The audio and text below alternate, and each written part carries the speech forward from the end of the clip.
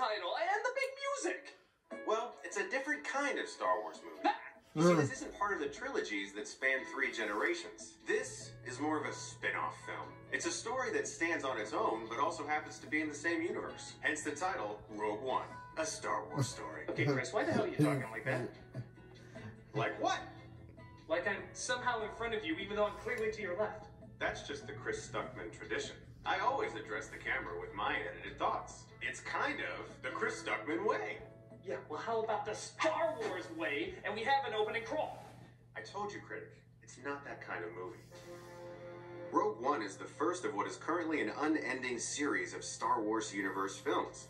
While the trilogies will continue to follow the stories of the characters we know and love from the first movie, these will be more background stories. Think of them as the appendix in The Lord of the Rings, a way to get more history of fictional events and characters. They're standalone films that give us more information on a world we can't get enough of. So the idea of cutting out the crawl is just a way to show it's one of the many side stories that's Like- yet to come. But we have another holiday theme, a Star Wars solstice. This is totally gonna ruin next year when we do a Star Wars feast day of Our Lady of Guadalupe. Look, this is just what Star Wars is now. It can't be any worse than the changes they made in the past. No, this is my show, and I want to crawl. Let it roll! Episode 3.9.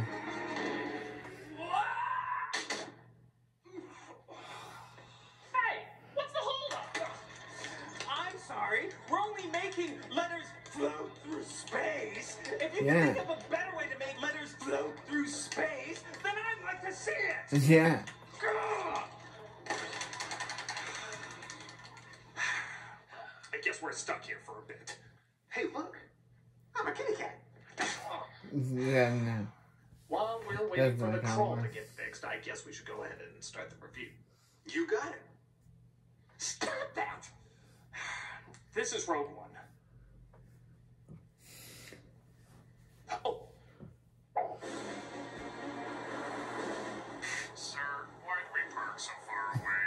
So, a young brunette girl with a British accent is separated from her family and she spends most of her life with no direction trying to cope with that tragic day. Actually, that was Rey's character from Force Awakens. Oh, yeah, no, how'd I get those two mixed up? so, a young brunette girl with a British accent is separated Literally from the her exa- family and she literally spends the most of her exact life with same no story. direction trying to cope with that tragic day. Not that Star Wars doesn't have a lot of repeat, but don't you think that's a little cut and paste? Oh, I'm sorry. I guess the young American guys didn't get enough attention. Okay. Fair enough. After cheerfully accompanying the Rebel Alliance, Jyn is taken to their headquarters where one of the rebels named Cassian reveals that her father, Galen, is the architect of a new weapon called the Death Star. The man who raised you named Saw.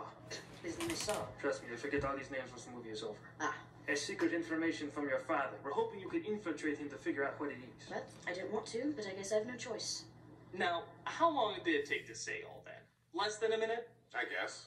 So, why does it take us less than a minute and the movie a dozen minutes to say the same thing?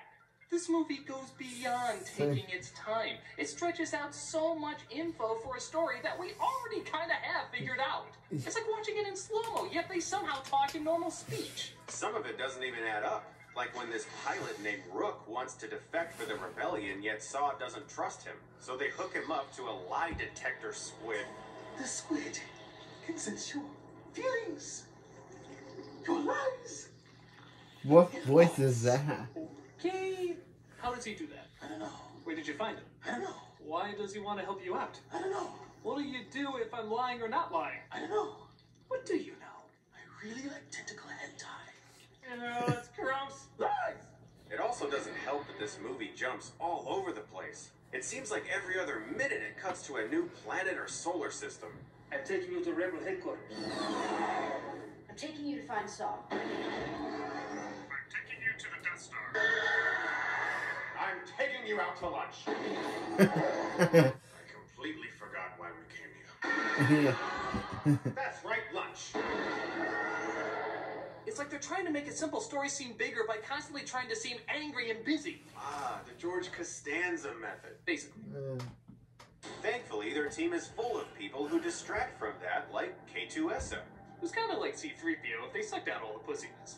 Greetings and salutations. I am C3PO. Piss off, you pansy. Suck my big black rod.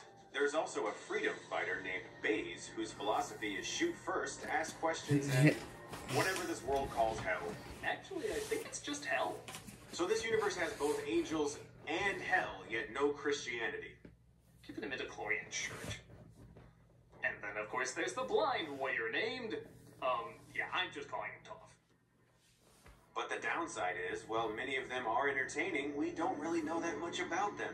We have no idea how these two know each other, why the pilot Rook defected, yeah. or why the hell Squidward was in this movie. Dude, you gotta let that Yeah, go. you- No. What yeah, Chris. was that? Why was that in the movie? Stop putting scenes with tentacles in your movies. They don't work. It might be a good thing not knowing their stories, though, as when you do, it almost makes us less interested in them somehow. I'm kind of angry with you. I'm kind of angry with you. I thought you were my kind of father. I thought I kind of raised you. I thought we had a kind of connection. Kind of. Kind of. Kind of. Wow, we went over everything, and I feel like no attachment. Yeah, I'm not gonna miss you when you die. Speaking of which, Hold, hold on, That blast, by the way, was a test by the Death Star done by General Krennic and Grand Moff Tarkin.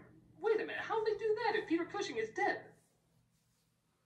Oh no, not! That's right. Digital Talking Tarkin available now from Hasbro for only fourteen ninety Yeah, five. before it's too, like oh, it's too late. it's like Jeff Bridges from Tron Legacy mixed with Jim Carrey from A Christmas Carol. Well, it's actually not that bad. Sometimes. The CG is very impressive. It always looks like somebody's really there, but the uncanny valley distracts from ever fully accepting it. Sometimes he looks convincing, but the rest of the time you'd swear they put the fake lips of John Lennon from Forrest Gump on there. Make it so they have nothing left on that planet. No possessions, no religion. It's easy if you try, Dick. Dismiss. Oh, good. At least the scene is over. Oh, and don't forget, we have like five more meetings in the next 24 hours. Ah. That's the other thing. He's in this film a lot. It kind of makes you wonder why they didn't just replace him with Darth Vader, who's only given less than 10 minutes in the movie. He's one of the most famous villains who always wears a mask. Why not use this guy as much as possible? Well, to be fair, it might be because James Earl Jones's voice is sounding a little tired after doing it all these years. Oh my god, are they still making these? Okay, where's the script? How many lines do I have? What? This it? Oh Christ, I was in the sand a lot longer. What am I literally just taking a bath while I'm off screen? okay, okay. Um, look here, General Krennic. Krennic? What the hell kind of name is that? It's like in one ear and out the other. Forgotten. I forgot I even said it. Oh fuck it. Just don't have me scream no, and we'll be good. I don't care if he sounds old. He's Darth Vader. We deserve more of him. Remember when this guy directed Aaron Taylor Johnson, also starring Godzilla? Oh, that Godzilla movie that had almost no Godzilla. Right. Yeah. Yeah, but to be fair, that movie had such bland main characters And, that uh, just and that also had Bryan interesting. Cranston. It sucked. Remember, Do you see where I'm in going with this? The Godzilla movie also had Well, Bryan Cranston. Well. Our main leads are mostly pretty flat. It's almost like they were given direction to not be awful, but not be interesting either. how do you know your father's not the enemy? I saw his message. He's on our side. Is that so? Yes. I mean, yes. In a totally passable yet unexceptional way. I am passionate about this, but not too passionate. In case we're all to die at the end. Right. So that people don't get too depressed, we can still market this as a deep yet enjoyable adventure. Oh, did I mention we have toys? Okay.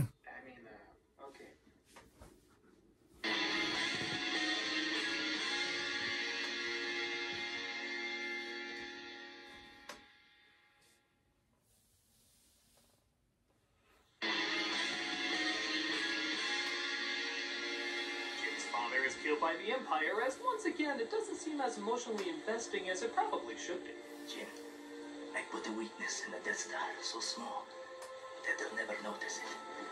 In fact, it's so small that every time they build a new one, it'll have the exact same weakness. Really, they never catch on? Yeah. Johnny Ventures were badges. Yeah. Yeah, how They're do the they? brightest stars in the solar system. Okay, I'm dead now. I uh, no, father, whatever. Upon finding out that the rebels don't want to sneak in to get the plans for the Death Star, our team decides to go it alone and get it themselves. You on that? What's going on? Uh, everything's under control. Situation normal. What happened? Uh, had a slight weapons malfunction, but we're perfectly fine here. We're all fine here now. Thank you. How are you? What's your ship name? It better sound poetic and look good on a poster. Our name? Uh, Just think of something. Hurry. uh, Rogue. Rogue One. One. That sounds like a so-so comic series that was never given time to bloom. Well, it makes more sense than just coming up with it out of the blue. Boring conversation anyway. We're gonna have company! So Rogue One goes to the Empire's base to steal the plans. The rebels eventually end up joining them, and You know how Force Awakens was friggin' awesome, but the climax was kind mm. of meh. Rogue One was kind of meh, but the climax was friggin' awesome. If you want to know the truth, we haven't gotten a great space battle since Return of the Jedi. We did eventually get a good Star Wars film, but the space battles were still usually too busy with too much clutter Yeah, going on. I get. This follows one ship at a time again, making it feel like you're there. In fact, a lot of it really feels like you're in the action because of the exciting, even realistic way it's shot. But doesn't just stop there. It moves it to the next level. You know how in Return of the Jedi they smash a Star Destroyer, which, Yeah. by the way, never destroys any stars? Ironic because they have a weapon that destroys planets. In fact, doesn't Death Star and Star Destroyer kind of mean like the same thing? anyway, you remember how it smashed into the Death Star in a giant blaze? Well, in this one, a ship pushes in just the right place, crashes into another Star Destroyer, which crashes into the shield blocking the planet, and just before another one shows up, crashing into a dozen other ships. It's amazing! This does still raise the question, though. If Vader is in this movie, why isn't he down there on that beach kicking ass? Um, hello? Sand? Oh, right. He hates sand. It's so coarse and rough and irritating. And it gets everywhere. He has posters like all over the place. How did you miss this? Uh, I guess I'll have to go down there. Don't you have like a million stormtroopers? Yeah, but I can actually hit something. Yeah. Asshole. Yeah, yeah, However, stormtroopers have Darth terrible aim. Vader comes back. My God, does he come back? Just when you think he contributed nothing to this movie, He comes aboard one of the ships and is like, I have come to deliver the most awesome scene in the movie. Yeah, no, this is nothing. This is literally nothing. I can do this with no hands. Watch.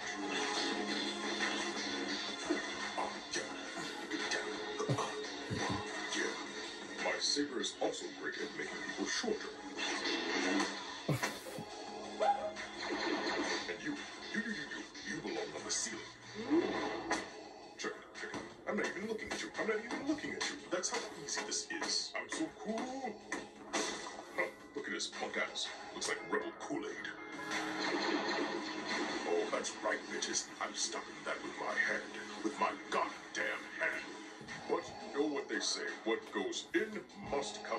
Out. My ass. Okay, here we go, everybody. What? Fucking amazing. Oh, what you gonna do? What you gonna do? Shit's getting hot in here, huh? Oh, okay, yeah, we're gonna duke it out. We're gonna duke it out. You're a tough guy, huh? Oh, I'm so scared. Darth Vader's gonna die from your pussy fist. You're gonna save the galaxy with those heads, right? Oh, wait, I forgot I can choke a bitch.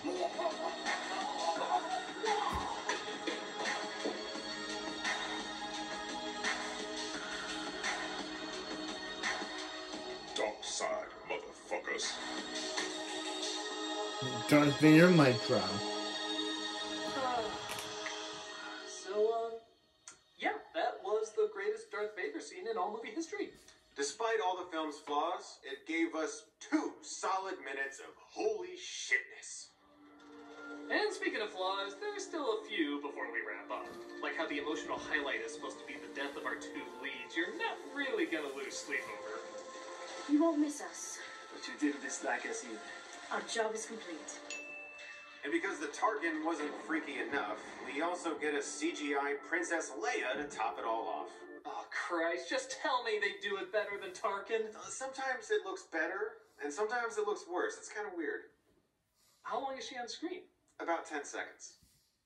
How can there be such a drastic change in only 10 seconds? Very good. Okay, you know, it's not too bad. Yeah. Yeah. Yeah. Okay. Yeah. That was terrifying. We have a new hope. You need an exorcist. Thus, the rebels head off with the plans, and the film comes to a close. And we were in this too. Yeah, right. They were in it. and that was Rogue One. the most above average Star Wars prequel. The film has famously gone through rewrites and reshoots, and it clearly shows. A lot of the time it feels all over the place, but some of the places they go to have some great atmosphere and action. The biggest problem is the characters aren't as memorable or fun as some of the other films, meaning it doesn't feel as large or epic. There's certainly problems with it, but it's hard to say there aren't a lot of cool scenes that overshadow them. It's not fun per se, but it is cool. It's definitely more aggressive and like an actual war, and that oftentimes makes the world feel more real. It never quite goes too aggressive, but it doesn't really take any chances either. There's no surprises, and you get exactly what you'd expect, but what I expected wasn't that bad, so I enjoy myself fine. It's a perfectly okay movie. Working. It's about time.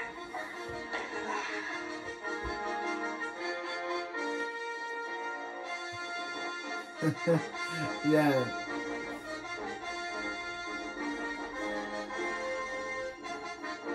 They made Solo and yeah, they made Solo and that was pretty boring. Except for teasing the Qi'ra and Darth Maul thing, which will probably never happen. So thank you, Solo. You teased us with one of the cool things that will probably never happen.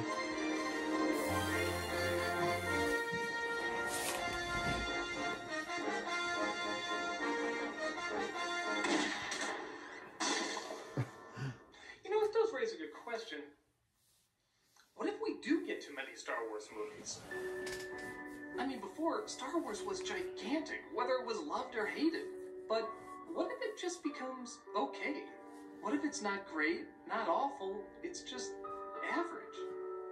What if it becomes like every other franchise? You know, before the prequels, there were a lot of cool Star Wars stories. Books, video games, comics, and a lot of them had a wide variety of acceptance. Some were great, some were awful, some were just okay. So you see, critic, Star Wars was a franchise before it was a franchise. Huh. I never thought of it like that. And yeah, we'll always have the original movies. Ish. I guess that does count for something.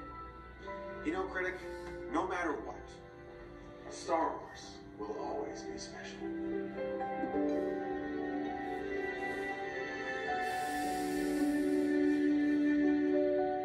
But will we ever get a Darth Vader scene as cool as the one in this movie? Look, Darth Vader's one of the best villains of all time. They could do anything with him. Who knows what's on the horizon that is Star Wars. Like what? Oh, okay. I felt like we were at a good spot there. It was a good spot to Re- stop. Really? I, I wasn't feeling that. I wasn't Okay, feeling you weren't feeling that, Like, okay. like what? Like what? Uh, they could CG a cartoon face on Bea Arthur. Wow, that'd be amazing. Yeah. We'll we'll stop there. Lord. Okay. Uh, I really need an out. I need an out. Yeah, I can fly too, bitches. I'm amazing! I'm Chris Stuckman, and I can breathe in space for some reason.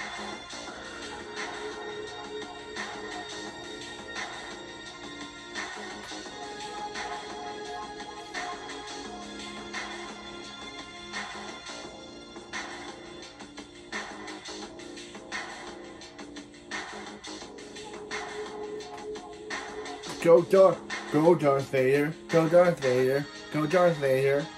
Yeah.